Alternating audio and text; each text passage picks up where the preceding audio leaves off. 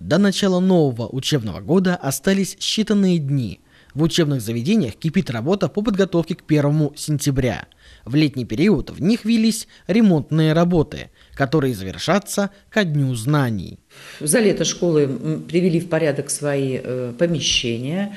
Город сделал некоторые инвестиции, также из собственных доходов, то есть заработанных денег за аренду, школы отремонтировали классы, э, отремонтировали частично общие помещения, которые у них есть. Отремонтированы в Малевской основной школе также и мастерская для мальчиков, для кабинета труда сделана у нас вентиляция. В Малевской основной школе также отремонтировали частично, э, исправили недостатки, которые имелись в их бассейне.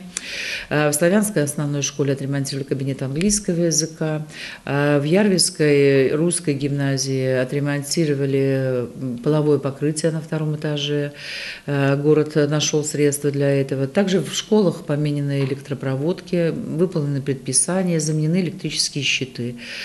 И, ну, и также в Ярвельской эстонской гимназии идет ремонт крыши. В этом году в городе Кохтла-Ярве за парты сядет 348 первоклассников. Вице-мэр Нина Алексеева сообщила, что в этом году их на 20 человек меньше, чем в прошлом. В то же время есть и положительные показатели. Количество молодых людей, выбравших гимназическую ступень образования, увеличилось. По окончанию основной школы в гимназиях Кохтла-Ярве решили продолжить свое обучение 170 учеников – это на 30 человек больше, чем в прошлом году. В нашем государстве в этом году ожидается в первый класс и вообще в школу обучаются, пойдут 143 тысячи учеников. И Министерство образования говорит о том, что это тоже на 20 тысяч меньше учащихся, чем в прошлом году. В стране идет такая тенденция, что количество учеников растет в больших городах. Это столица нашей родины, город Таллин, Тарту и Пярну.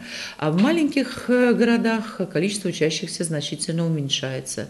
Это значит, что народ переезжает жить в э, столицу больше. Это ну, есть э, множество различных причин.